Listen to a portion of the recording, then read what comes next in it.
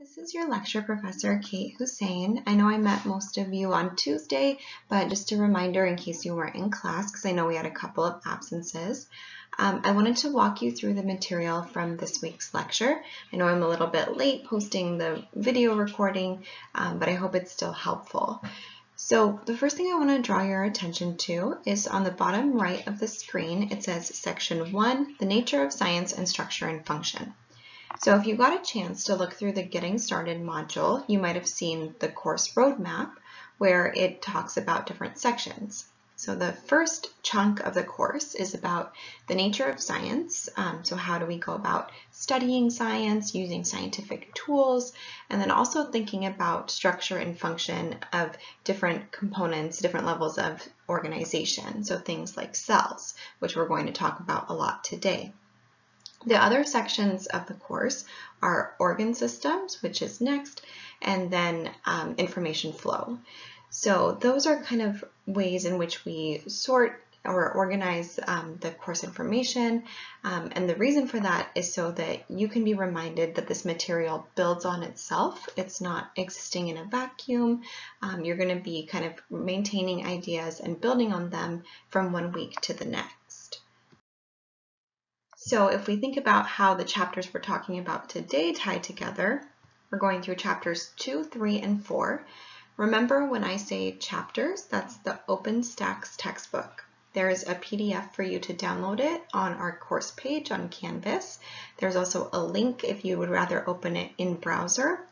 OpenStax is pretty useful because it's a free resource, first of all, and you can also kind of click through the sections, look at additional study material, open videos. So it's a pretty handy resource if you have stable internet access. Um, if you prefer a hard copy, you can also uh, order it through Amazon. We can also work with DSPNS if you need it to kind of print that up in a larger format. So please let us know if you need any accommodations. So again, going through chapters 2, 3, and 4 today. In chapter 2, we're thinking about how atoms and small molecules are the building blocks of life. They're one of the earliest levels of organization.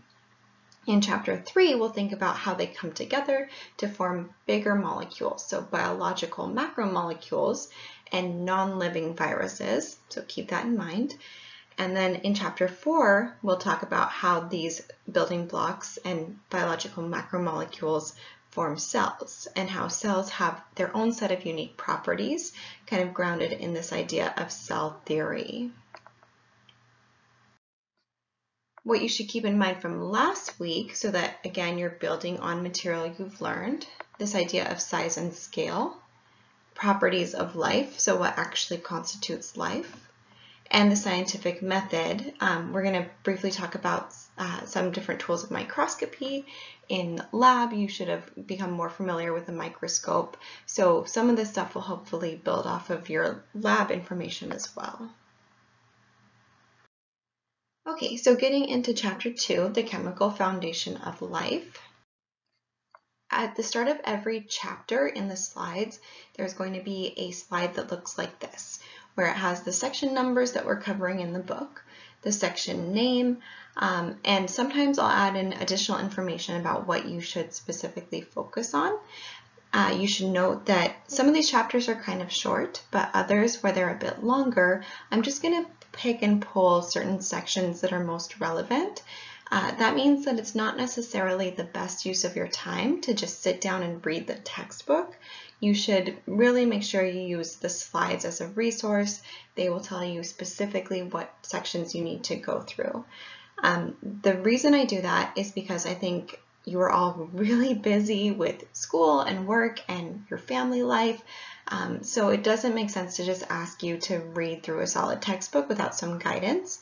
I really try to make the slides a fair representation of what you're going to be expected to know in the course, uh, particularly for quizzes and exams.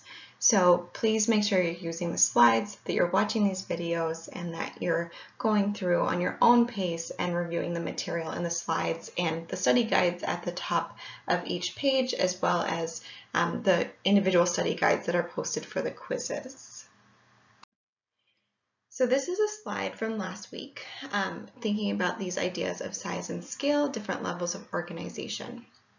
So remember that atoms, which include chemical elements, isotopes, we'll clarify those terms in a little bit, are kind of the smallest unit.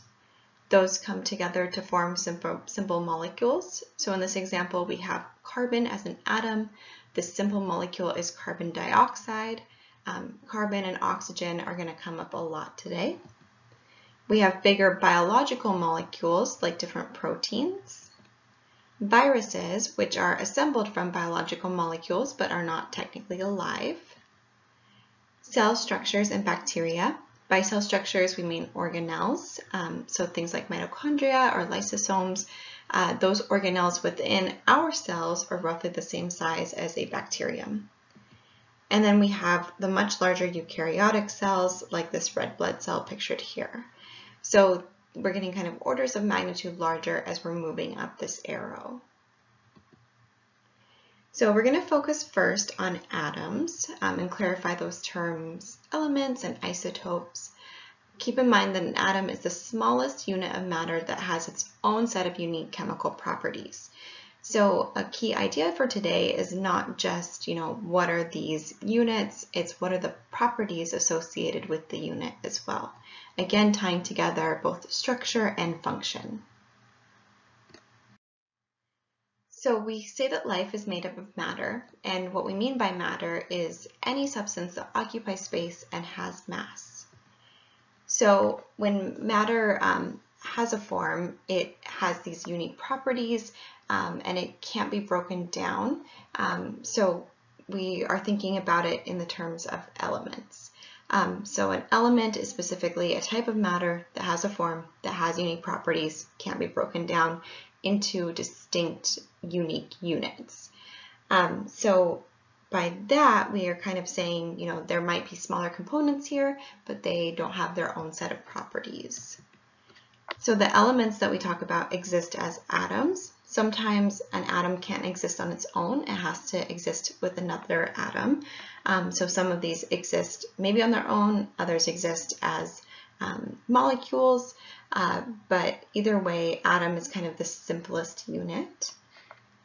Atoms are made up of smaller particles like neutrons, protons, and electrons, but again, it's the assembly of those smaller units that forms an element, that forms an atom that has unique properties one proton on its own or one electron on its own is important biochemically, but it doesn't have unique properties the same way that an element does. So when we're thinking about different elements, I'm sure most of you are familiar with the periodic table of the elements, or you've at least seen it before. Um, we'll get back to that in just a moment. But you should be aware of the elements carbon, hydrogen, oxygen, and nitrogen. A quick way to remember that is CHON, so carbon, hydrogen, oxygen, nitrogen. Those are very important components of the human body. So what this diagram is depicting is the percent of each element making up matter in a living human. So 18% of you is carbon, 10% of you is hydrogen, 65% of you is oxygen, and 3% of you is nitrogen. Those C's, H's, and O's are going to be very important for the biological molecules that we'll talk about later today. So when we're looking at the periodic table, we have to confer a lot of information very effectively. Um, so there's a specific way that we format this information. We have the chemical symbol, which is a two-letter set. Um, in this example, we're looking at sodium. The Na comes from the Latin word for sodium. Uh, we have the atomic mass, which is reported in atomic mass units. We have the atomic number, which represents the number of protons. That's going to be important because the number of protons remains consistent. The number of, um, of neutrons is going to kind of fluctuate depending on certain situations. We also might have the full name listed depending on how much space we have on the periodic table. And then uh, this information is not always here, but in this example, we have some uh, information about the electron configuration. Really, the chemical symbol, atomic mass, and atomic number are the ones that are going to be most consistent here. So when we're looking at this periodic table, we see that there's some kind of trends here, especially in clustering of metals, metalloids, and nonmetals. Um, so these elements are arranged according to their atomic number. They're sorted into groups based on electron configuration and also sorted into periods based on atomic number and atomic radius. Um, and again, we see those clusters based on properties of these elements. So when we're thinking about atoms, when we're thinking about those units of elements, there's a distinct structure. And you saw this image earlier in the slides, um, but we have the nucleus, which is a specific central region of the atom that contains the protons and the neutrons. Protons are positively charged particles, neutrons are neutral particles, like their name suggests, and electrons are negatively charged particles that are arranged in distinct rings around the nucleus. So sometimes you'll see electron shortened, shortened to a lowercase e with a minus after it. That symbol means electron. Protons is sometimes shortened to H+. So like I mentioned, um, protons remain very consistent. Oftentimes atoms have the same number of protons and neutrons, but that's not always the case. So when we're talking about isotopes, things change a little bit. So isotopes occur when you have um, two forms of the same element that have the same number of protons but different numbers of neutrons. So one example is carbon-12, um, which is normal elemental carbon. It has six protons and six neutrons, but it has an isotope, carbon-13 or 13C, that has six protons and seven neutrons. So that atomic mass number changes based on the sum of the protons and the neutrons. So uh, one thing I want to point out is that when you're writing out the full name of the isotope, you write carbon-13, but sometimes it's shortened to 13 as a superscript and then C. So for example, here we have uh, 12C and 14C, so carbon-12, carbon-14. Carbon-14 is another isotope of carbon that's specifically helpful uh, in radiometric dating. So when we have something very ancient, like a fossil um, that is thousands and thousands of years old, we can use radiometric dating to figure out almost exactly how old it is. So in a living organism, we have a consistent ratio of uh, carbon-12 and carbon-14. So um, it, we can kind of uh, figure out how much carbon-14 was in there to begin with by looking at the carbon-12. Um, but then once an organism dies, the carbon-14 starts to leave the sample, um, and so it's going to reduce at a consistent or predictable rate. Um, so in this case, we can kind of measure the amount of carbon-12, measure the amount of carbon-14, compare them, and use the amount of carbon-14 left to figure out how old the specimen is. So isotopes have a lot of practical applications as well. Um, if you're curious about kind of electron structure, different orbitals, um, you are welcome to look through this video. Uh, it might be useful for chemistry or for other classes that you're taking, but you don't need to know it for this class for quizzes and exams.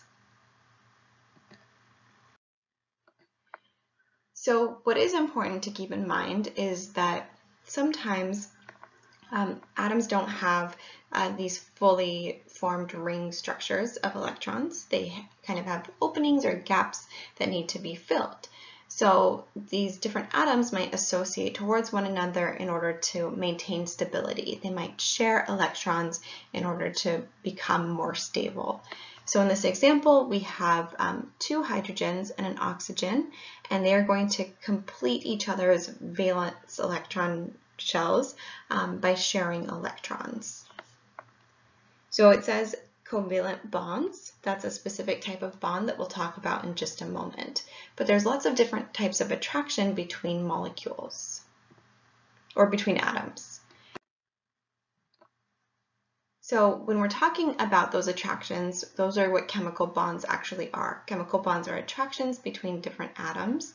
When you build chemical bonds, it costs energy, and when you break apart chemical bonds, it releases energy.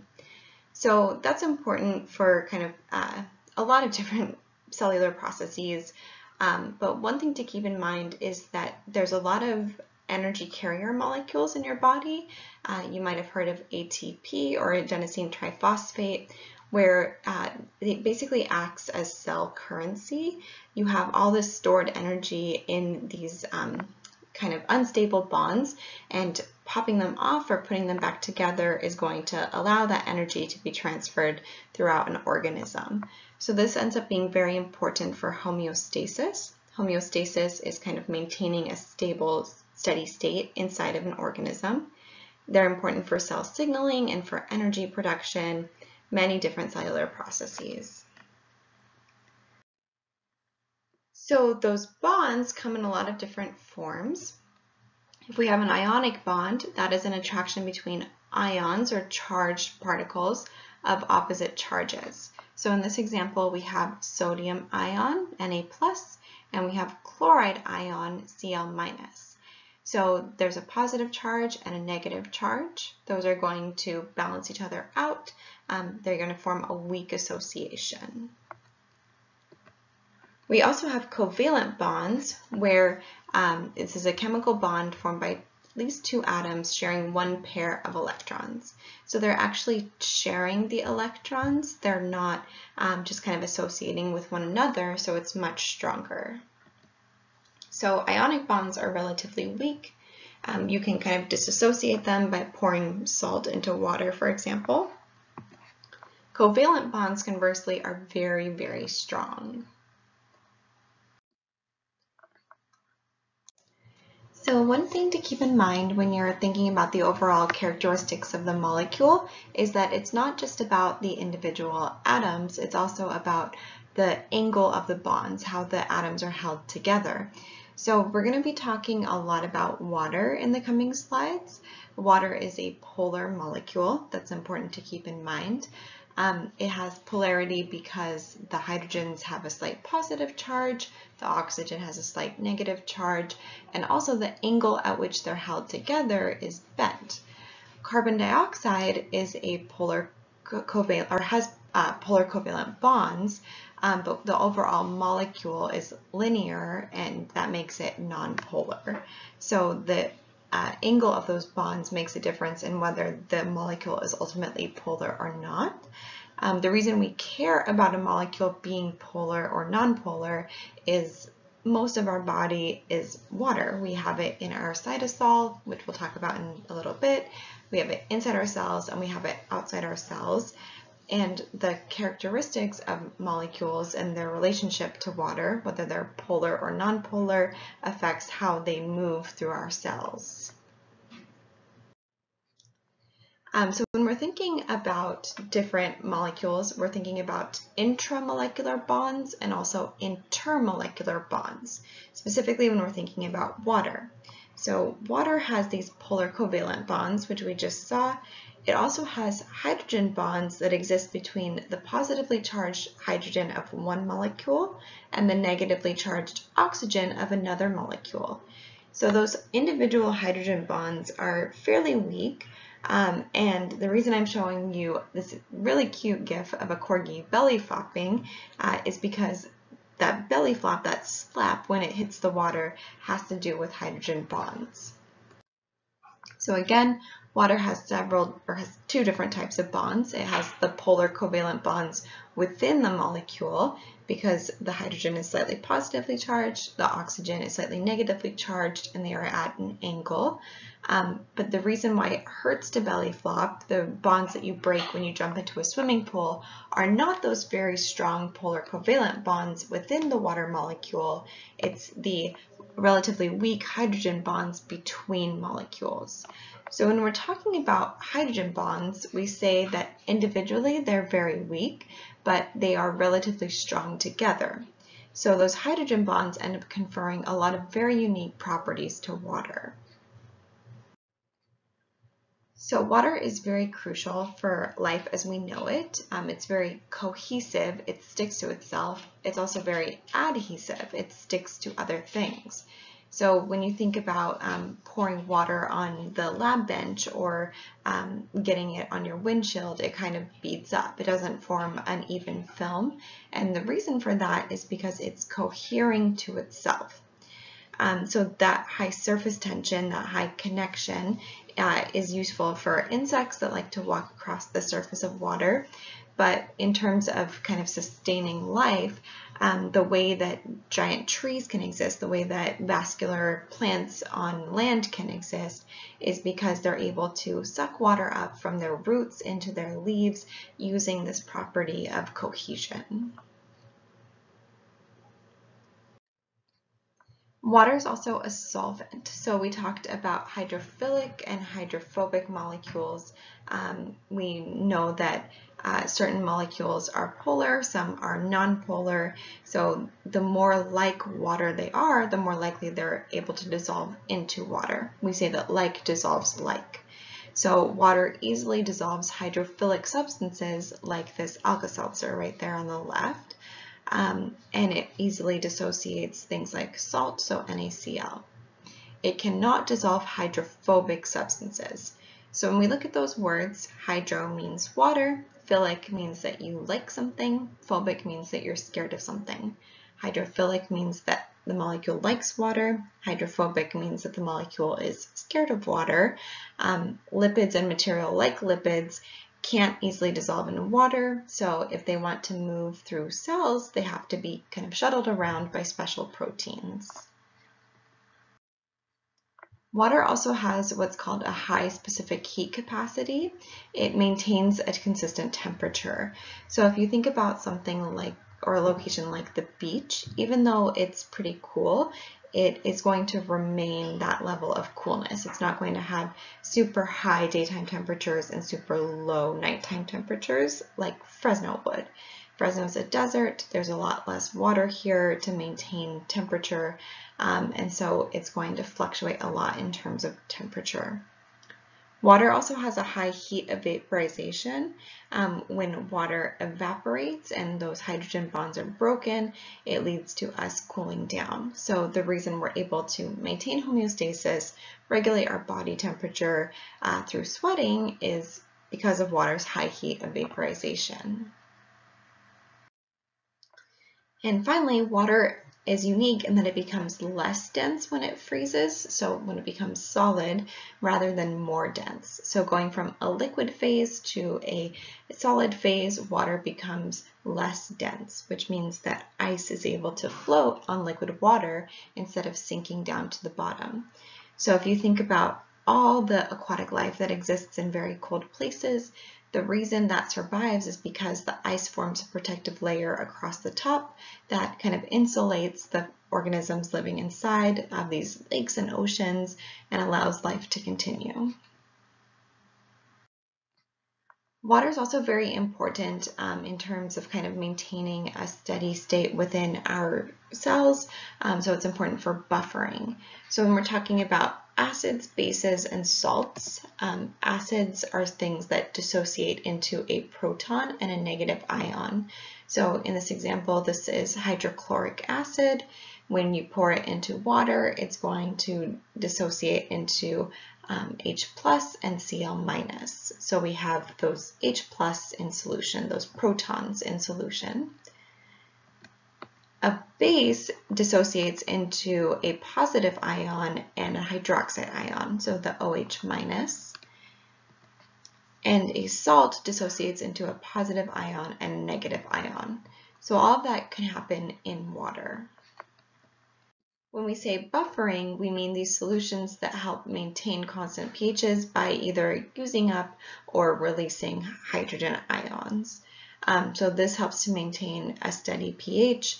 Um, all of the enzymes in our body have to operate at very specific pHs. Um, we're really dependent on maintaining a steady state. Um, that steady state might be different depending on whether it's our blood or our stomach or our skin, but we rely on buffers like water to kind of keep things consistent and where they're supposed to be. So we talked a lot about water that is made up of hydrogen and oxygen. Remember, hydrogen is 10% of our overall matter, oxygen is 65%, and then carbon is that 18%. So that is going to be really crucial along with hydrogen and oxygen for forming the basis of macromolecules. So when we're talking about macromolecules, those are a specific type of organic molecule. And when we say organic, that can mean a lot of different things in a lot of different contexts. So you might be familiar, familiar with organic in the sense of maybe farming or different produce, organic produce. Um, but when we say organic in science, we just mean that it has carbon. So organic molecules have carbon in them and are essential for life, just like water. When we talk about hydrocarbons, those are a unique type of organic molecule that only has hydrogen and carbon, so hydrocarbon. An example of that is methane, which is the CH4 pictured here. Um, those hydrocarbons can come together and kind of form the basis for larger structures. If they exist as chains, they might have single, double, or triple bonds. We call those alkenes, or alkanes, alkenes, and alkynes. Um, you'll learn about that when you take organic chemistry. Uh, the number of bonds, whether it's single, double, or triple bonds between the carbons, um, is going to kind of change the properties of the molecule. They can also exist as ring structures or aromatics, um, aromatic hydrocarbons.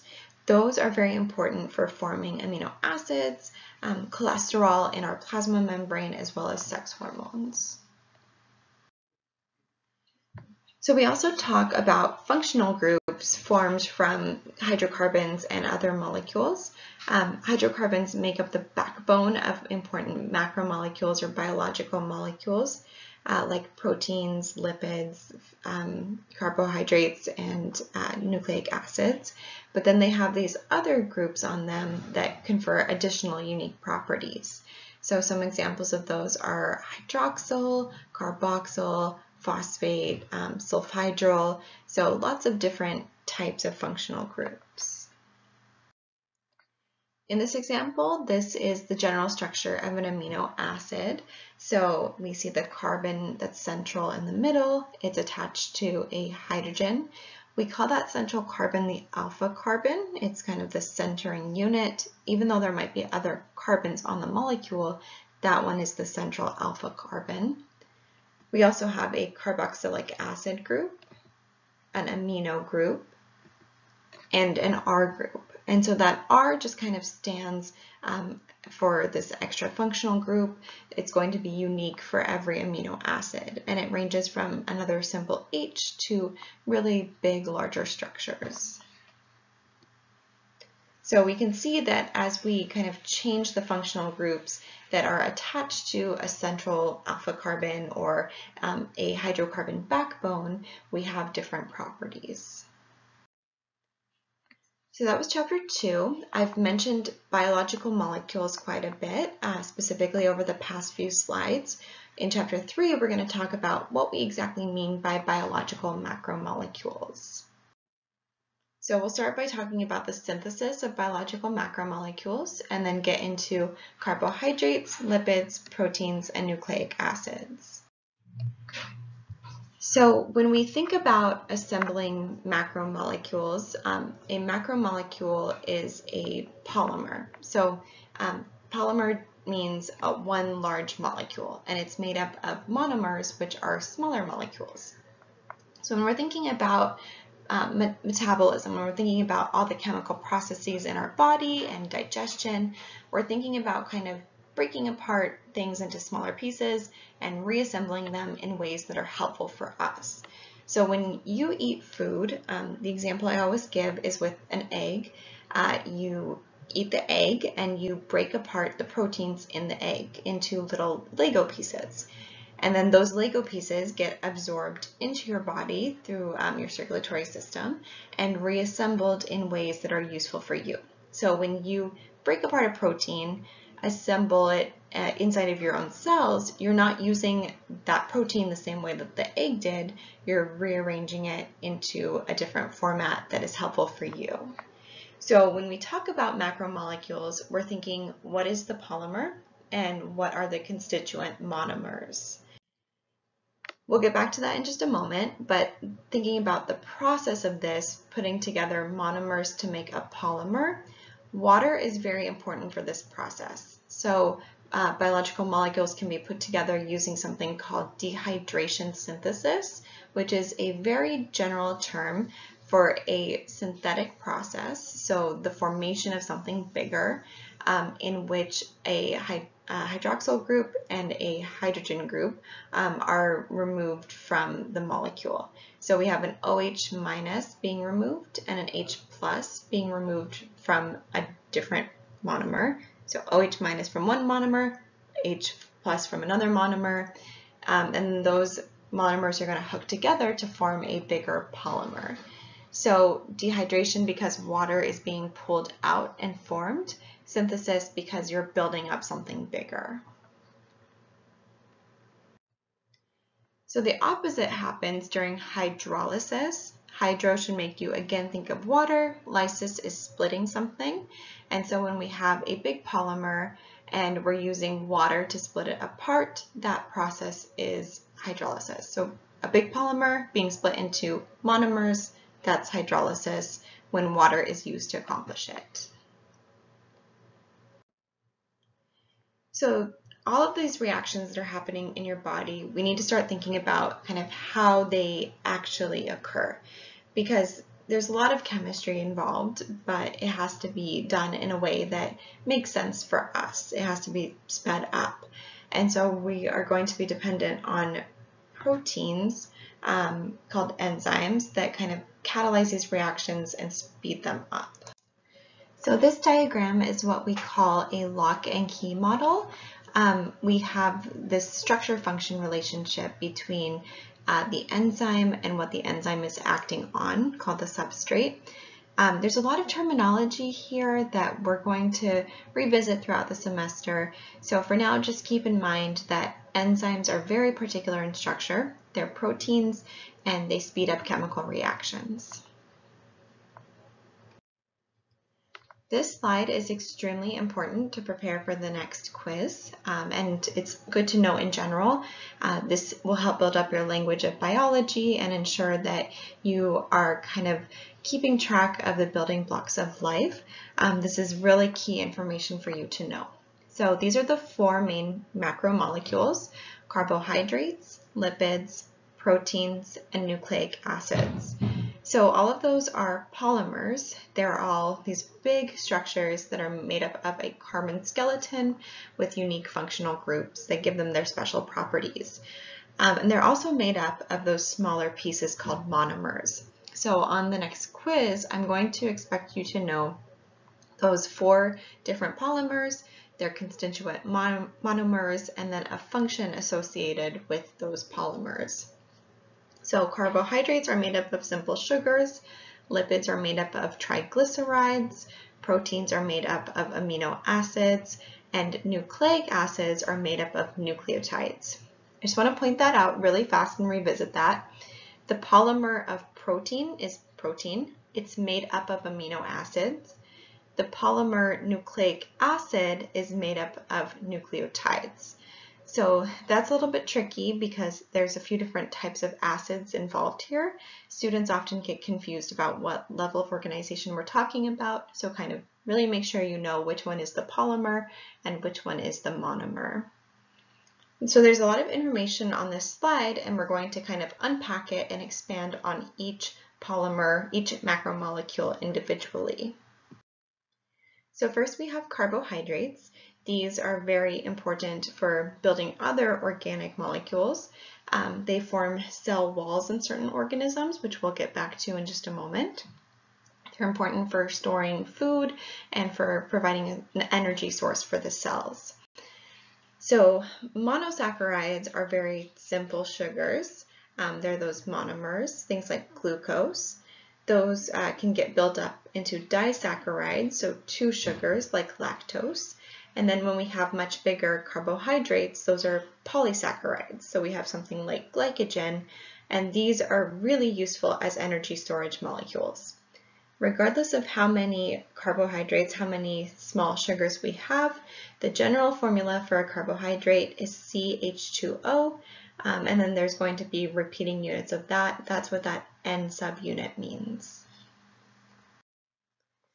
So moving on to fats, these are also called lipids. They are nonpolar organic molecules. So again, that means that they're hydrophobic. They don't dissolve readily in water.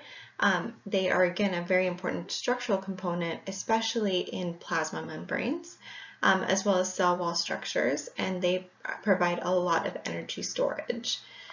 So what this, um, what the diagrams on the right are showing you is, first of all, lava lamps, because that is um, a hydrophobic substance dissolved inside of an aqueous solution. So you can see that the bubbles of fat there don't dissolve readily into water.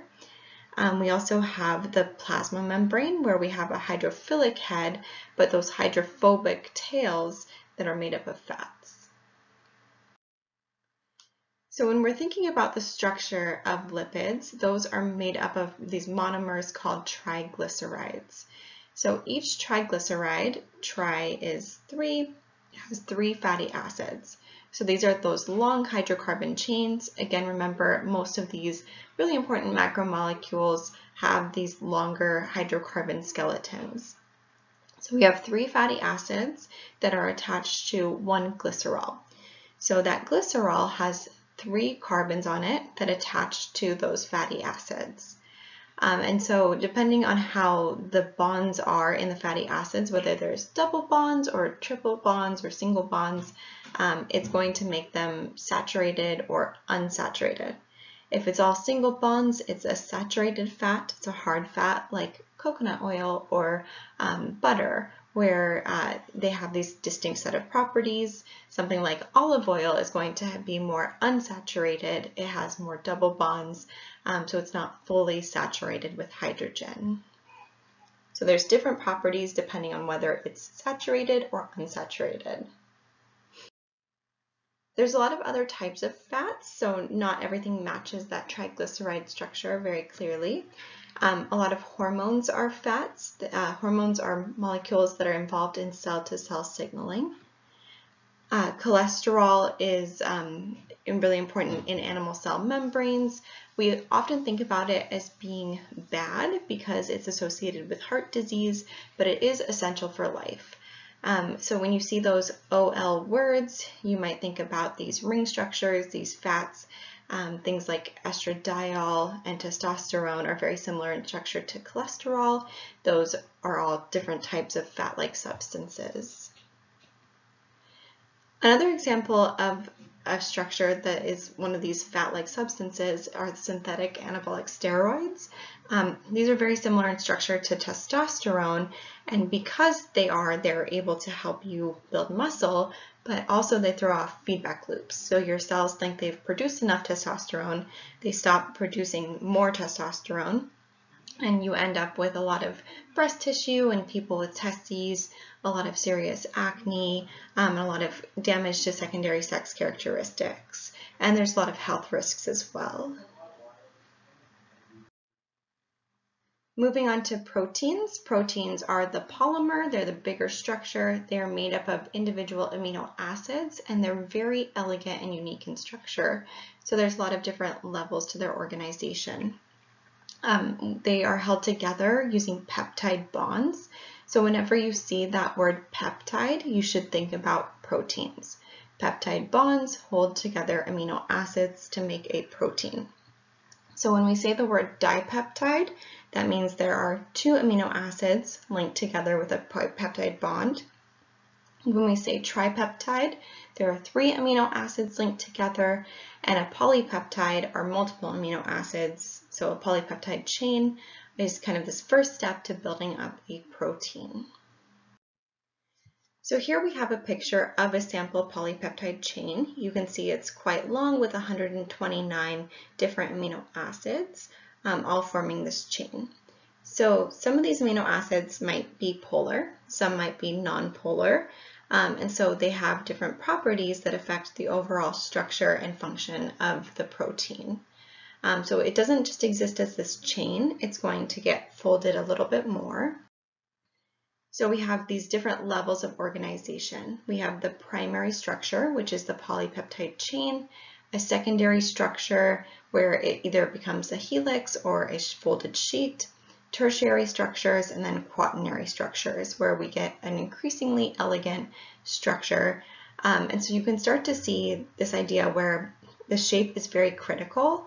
If anything were to happen to it, um, we have what's called denaturing, um, where it's a change in the nature or the structure of the protein that affects its ability to function. So at the top here, we have an artist rendition of the enzyme lactase. That is really important for breaking down lactose in milk. And if you're lactose intolerant, it's because your body doesn't produce the lactase enzyme. So bacteria have to break down that sugar and you end up with a lot of undesirable side effects. Um, but you can see how really beautiful and elegant it is in structure. And if anything were to happen to it, that would throw off that lock and key relationship that we talked about earlier. Um, one thing that I want to point out, in biology, there's a lot of very similar sounding terms. Whenever you see a word that ends in ASE, that means that it's an enzyme. So it's a lot easier to learn the rules of language in biology than to try to memorize everything. Um, so lactase, ASE tells you that it's an enzyme. Lact tells you that it has something to do with the sugar lactose. Words that end in OSE are usually sugars. So things like uh, fructose, glucose, lactose. So again, learning those language terms. Um, when you're thinking about denaturing, and a common example of that, going back to the egg, um, is when we fry an egg or we cook an egg, the egg white portion goes from being clear to being white. And so what's happening there is the proteins that are in that egg white are being damaged by the heat. Um, they're being completely denatured. They're not able to function the way they used to before. So we talked a little bit about enzymes. We talked about that naming convention. Um, this GIF right here is a time-lapse video of mitosis happening in the cell. I'm sure some of you learned about mitosis back in high school or in earlier college classes. We'll cover it later in the semester, specifically during information flow. Um, but mitosis is how cells make copies of themselves. And here you can see that it's a very dynamic and very beautiful process. Even just sitting listening to me lecture, your body is going through some crazy amazing stuff. Just like every millisecond of the day, you have so many reactions taking place. So a lot of stuff is happening in your cells. And all of those reactions have to be done at a speed that sustains life. You have to have all these signals being sent. You have to be able to react to things. Your world is so dynamic and ever changing. Um, and all of that is only possible because of enzymes. So enzymes are special proteins that reduce activation energy barriers, bring molecules together, and speed up reactions. So proteins are very important in part because they are enzymes. So going on to nucleic acids, um, so these are made up of nucleotide bases, these nitrogenous bases. When we say the word nitrogenous, that means that it contains nitrogen. Um, and so we have these ring structures where nitrogen and carbon are alternating. Um, you might have done activities where you looked at kind of DNA pairing up. Adenine is one type of nucleotide. It always pairs with thymine as a double bond cytosine always pairs with guanine. And so if you look at this image, the reason for that is that the structures fit together. You have one big molecule, one small molecule. If you had two big molecules coming together, that would create a bump or a kink in the DNA. So thinking about that DNA structure and how these nucleotide-based monomers come together to make a nucleic acid polymer, we have um, this sugar phosphate backbone where we have these sugar phosphate groups that are attached to the nitrogenous base to form a single nucleotide. um, adjacent nucleotides are hooked together at the sugar phosphate to form a sugar phosphate backbone. Then the nitrogenous base kind of reaches across to the complementary strand and is hydrogen bound to that strand. So here we can see the, uh, the cytosine and the guanine at the top pairing together with three hydrogen bonds, the adenine and the thymine below it pairing together with two hydrogen bonds. And so remember, hydrogen bonds in a group are very strong, but individually are pretty weak. So that's going to be important because uh, you can use enzymes to kind of break apart those hydrogen bonds, separate them out, and then use that DNA as a code for coding for proteins or making more DNA. So those strands have to be able to separate from each other fairly easily through enzymatic reactions. So when they do come together, they form what's called the DNA ladder, if you kind of twist it, you get this kind of like spiral staircase structure, this double helix um, that is the structure of DNA within our cells.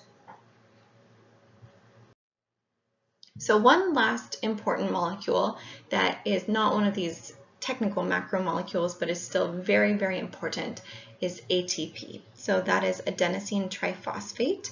Um, it's the currency of the cell. So remember earlier I was talking about how bonds are very important for kind of storing and then releasing energy. Um, this is what's happening with ATP. So we're moving energy around the cells. Um, we have those three phosphate groups and the last phosphate is going to kind of pop off and release energy for cellular reactions. We're going to go through these processes where we add the phosphate back and we have more ATP production. So ATP is produced by cellular respiration within our cells. That's this process of glycolysis, transition reactions, um, other stuff happening as well. So like I mentioned, ATP breaks down, um, it releases a phosphate that forms a DP, adenosine diphosphate, and an inorganic phosphate that's been separated out from all those other carbons that releases energy, um, and it releases a decent amount of energy because it's a covalent bond, which is very strong. Okay, so then going on to our last chapter, chapter four about cell structure, we're going to start out by talking very briefly about microscopy. Um, I'm going to kind of skim through it because you should have talked about microscopy quite a bit in lab on Tuesday. When we talk about microscopy, that will be section 4.1, studying cells. We'll go over prokaryotic and eukaryotic cells, briefly touch on uh, the endomembrane system, the cytoskeleton, and then um, connections between cells. So in general, a microscope is what we use to see things that can't be seen by our eyes. And the type of microscope makes a difference in terms of the micrograph or the image that we see. So when we use something called a dissecting scope or we use scanning electron microscopy or SEM, that creates an image where we're looking at the surface and the 3D structure of the object. So here we have a micrograph of pollen, and you can really see the topography or the surface structure of the pollen grains very, very clearly. When we use compound scopes, which is what we often use in lab, where you're looking at a slide, for example, or transmission electron microscopy, um, we're looking at a very thin slice of a 3D object. So you can move through different slices, but you're not going to see the overall 3D look that we see with dissecting scopes and SEM. The dissecting scopes and the compound scopes are things that you'll use in class.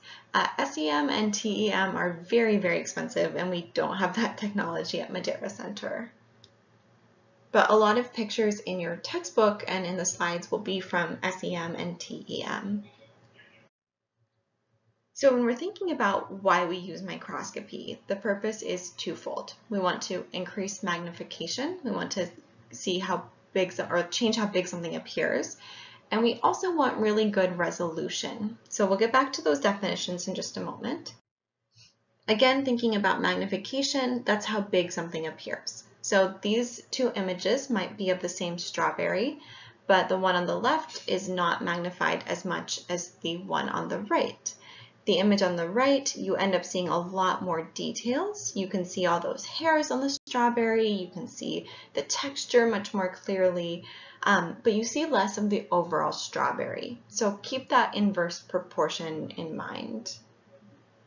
Magnification on its own, though, is everything. So here we have empty magnification. If you zoom in, but you don't enhance the image, you don't make it more clear, you can maybe see more details, but it's not enough context. If you zoomed in on a cell like this or on one of these tissue slides, you wouldn't see enough details to really make sense of it or gain useful information. So another goal of microscopy is resolution, how clear something appears, whether you can actually distinguish between close items. So this image of Batman on the left, you can't really tell where his cape ends and Gotham begins. It's a low res image. But on the right, you see all those structures very clearly. So if you think about a cell, the image on the left, you probably wouldn't be able to see unique cell structures like cilia, these little hairs that are kind of on the outside of some cells for movement. But on the right image with high resolution, you can see those identifying structures. So you need both high magnification and high resolution. Something to keep in mind though is that magnification isn't everything. You want to see certain structures and you can zoom in too far. And when you zoom in too far, you lose the scope of what you're looking at. So the goal is not always to get the highest resolution or the highest magnification possible. It's to get a good balance of magnification and resolution in order to see what you're looking for. So one type of microscope that I mentioned that you might use is the dissecting microscope. That's when you want some level of magnification and resolution, but you're not looking at a very tiny image. You're looking at whole um, organisms, uh, not individual cells necessarily. Um, you're looking at low magnification and you're using an external light source. So you could just use ambient light from the classroom, you could shine a, a light source from the microscope, um, or you could use your cell phone flashlight, but it's not the intense light that we see on a compound microscope. So those images, again, through the dissecting scope tend to be very low magnification. On the left, we see a leaf, um, so we can start to see cells, but it's a much broader look. On the right, we see a spider. We can see more details than we would be able to see with the naked eye, but not by much. So when we use a compound light microscope, um, it has a light source within the microscope and it has two lenses. That's why we call it compound. There's an ocular lens, which is in the eyepiece. That remains fixed. It's usually a 10x magnification. Um, and then there's also the objective lenses. Those swivel around. There should be a 4x, a 10x, a 40x, and sometimes a 100x. So when you're trying to figure out the total magnification, you multiply the ocular lens by the objective lens. For example, if you are on the 40x objective lens, your total magnification would be 400x because you have the 40x from the objective, the 10x from the ocular, 10 times 40 is 400. So we have this combination of the two. We have this compounding of the magnification. So this allows us to view very small slices of tissue or flattened cells um, and other material. So I mentioned earlier that when you zoom in on the strawberry, you kind of lose scope of the overall strawberry. So this speaks to this idea of field of view. That's the two-dimensional area visible through the microscope. So for example, if this is our whole slide, this is um, a slice of a, uh, of a plant um, called a monocot, and you can kind of see these face-like structures on it. If you have a low magnification, you can see more faces, but if you have a high magnification, you're zoomed in and you see less of the overall surface. So as magnification increases, field of view decreases. This is kind of like if I were taking a picture of you and I didn't zoom in at all, I'd be able to see your whole face. But if I zoomed in on your nose, I would have higher magnification, but less of a field of view. So that speaks to the two-dimensional aspect of microscopy. In terms of the three-dimensional aspect, we have what's called depth of field. So if you are working with a pond water sample, for example, um, or even a squash of leaves or something like that, um, you might be able to see some structures but not others depending on what layer you're looking at. So depth of field is the number of layers you can actually see, the distance from the nearest to farthest object that appears sharp in the image. Um, so the iPhone X portrait mode kind of speaks to this. Uh, if you just have the person in the foreground in focus and the background is not, that is a shallow depth of field. So portrait mode plays around with depth of field. Also, let's say that we're in the classroom and a um, giant is looking down at us through a microscope. If the giant can see all the way from your head to the bottom of your foot, um, that would be a wider or a deeper depth of field. If they zoom in and they can only see from the top of your head to your chin, that is a shallow depth of field.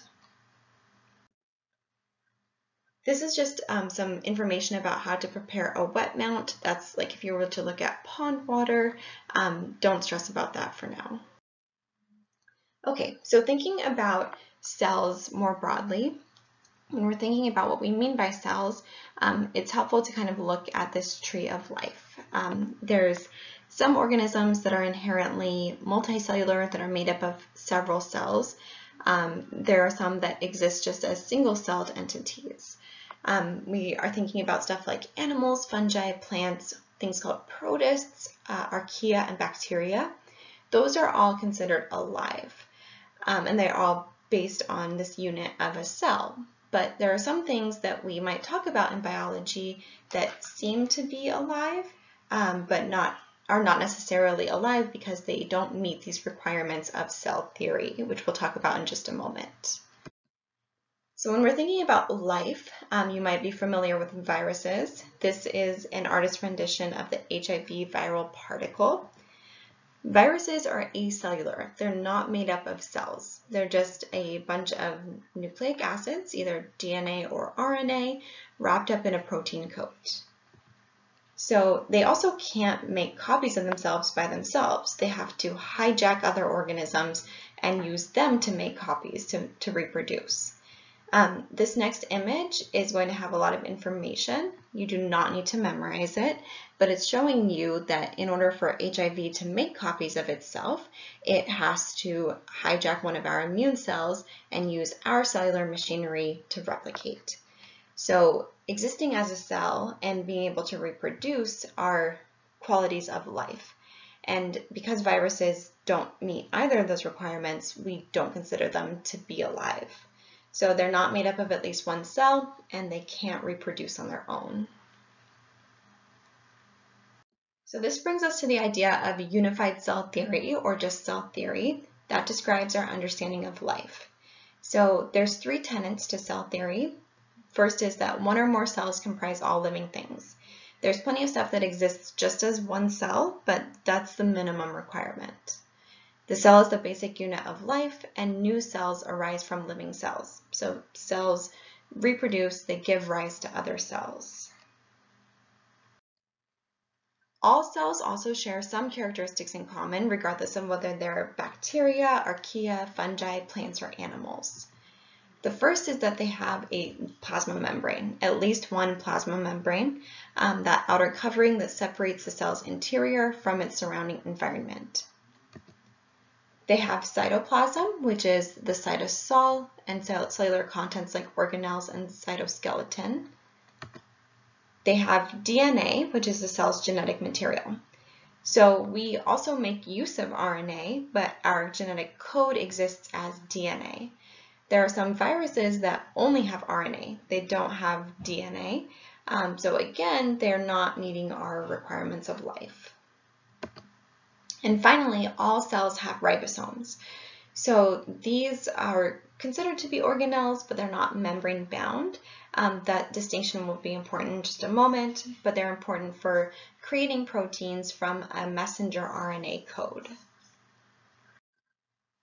So when we're thinking about different kind of classifications of life, there are cells that structurally look very different from one another. And so some of those are considered prokaryotes, others are considered eukaryotes. Prokaryotes kind of uh, includes archaea and bacteria. Eukaryotes includes animals, fungi, plants, and protists. Prokaryotes are very, very tiny. So they're roughly the same size as the organelles inside of our cells, things like mitochondria. Um, so they're orders of magnitude smaller than eukaryotic cells.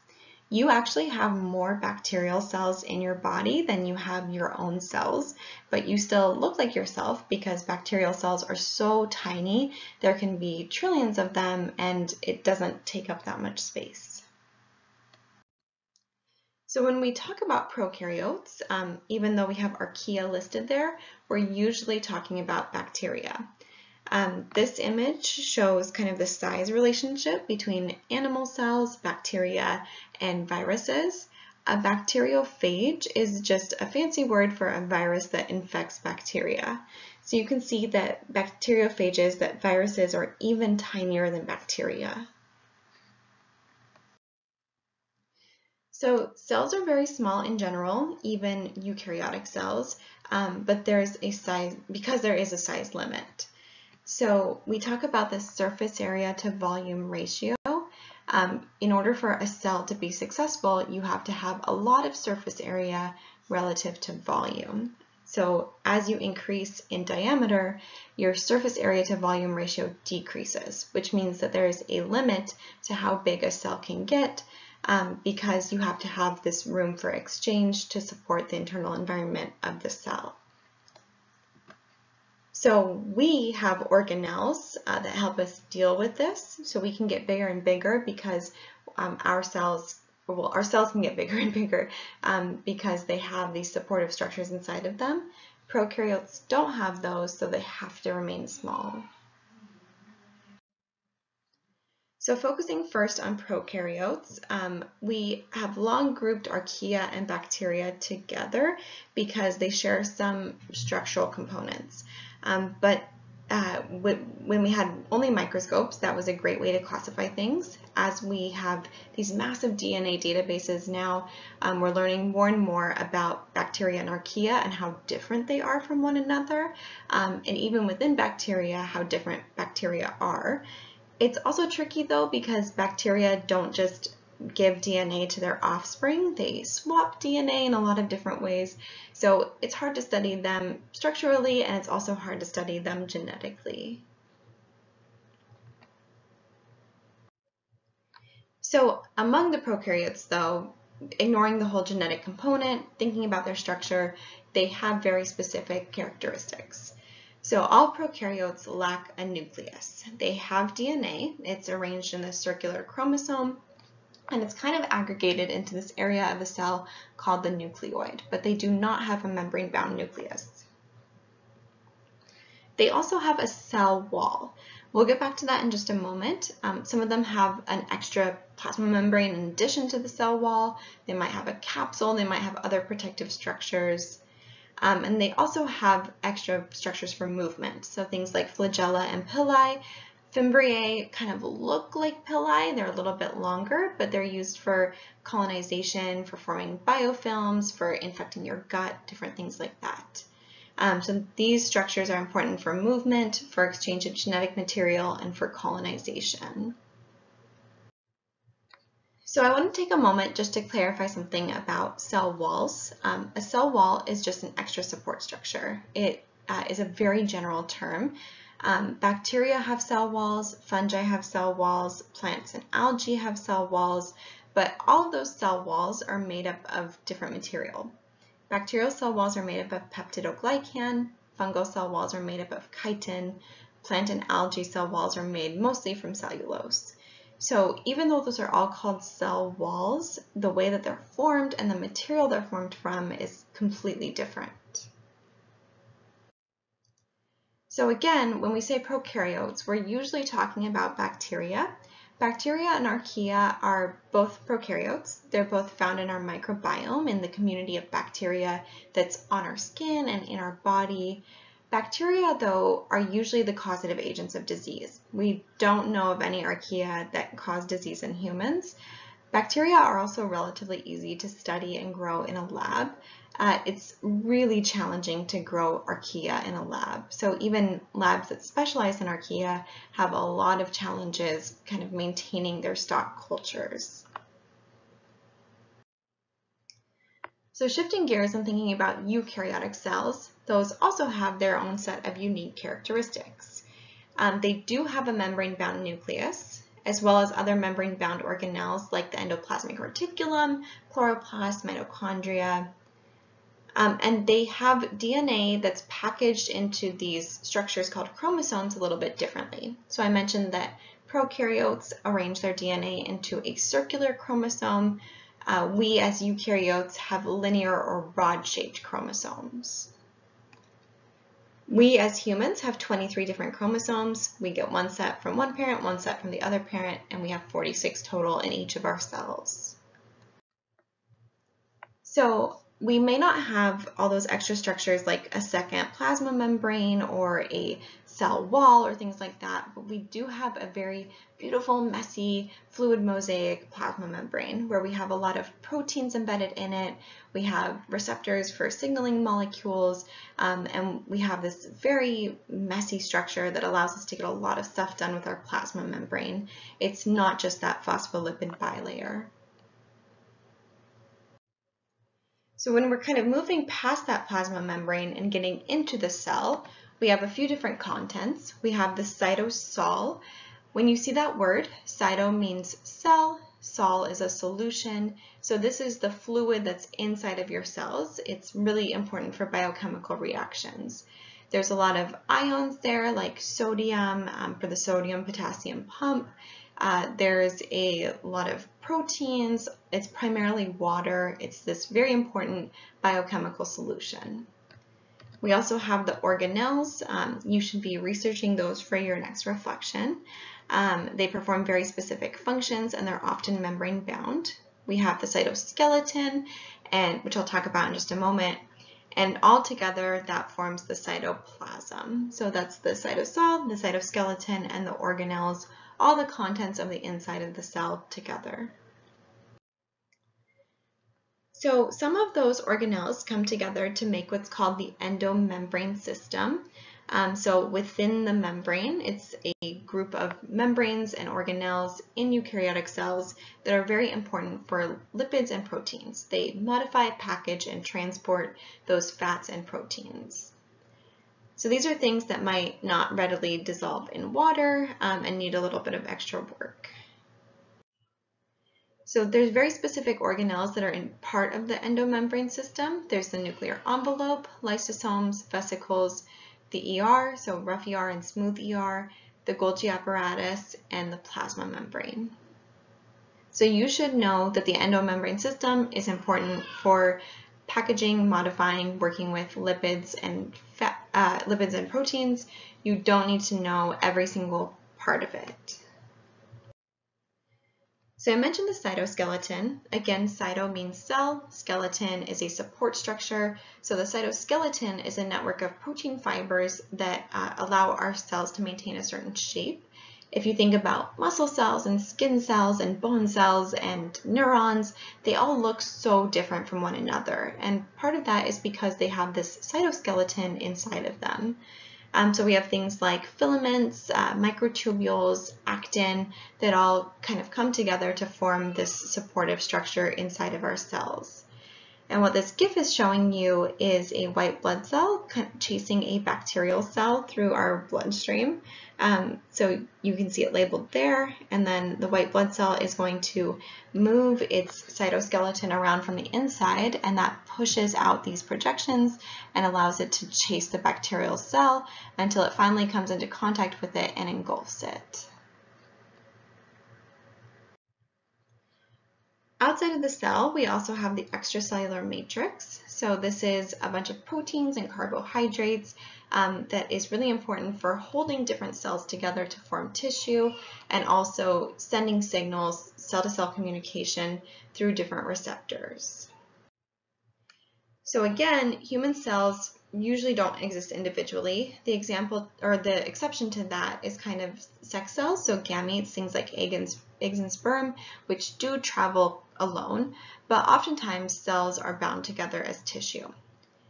So in plants, we have these openings that connect cells um, and help kind of facilitate that coordination of activity within the tissue. So we have plasmodesmata. These are open channels that allow stuff to move through plant cells. A lot of students think that because plants have cell walls, they uh, can't really exchange material, um, but the plasmodesmata um, are very important for actually allowing that exchange to take place. The equivalent to that in animal cells are gap junctions. They are very similar in function. They allow ions and different material to pass through. Um, the difference is they're not just openings, they are aligned with proteins, and they exist in very specific locations and very specific types of cells. The opposite of those are tight junctions. Um, those are found in our stomach, among other places they stop any material from passing through. So tight junctions kind of keep things connected together um, in our stomach. That makes sure that acid from inside of our stomach doesn't eat away at our tissue. And then there's desmosomes, which um, allow for a lot of stretching. So they're not quite as tight as tight junctions. They adhere adjacent cells together and they allow for a lot of elasticity. Okay, so that was the lecture. Make sure that you look over the feedback from the last quiz. Um, I will post the study guide for the next quiz tomorrow. Uh, if you have any questions at all, please don't hesitate to contact me. Um, the online reflection number two is posted, so please make sure you get that done by Monday at midnight and make sure you complete the quiz between Monday at midnight and Wednesday at midnight.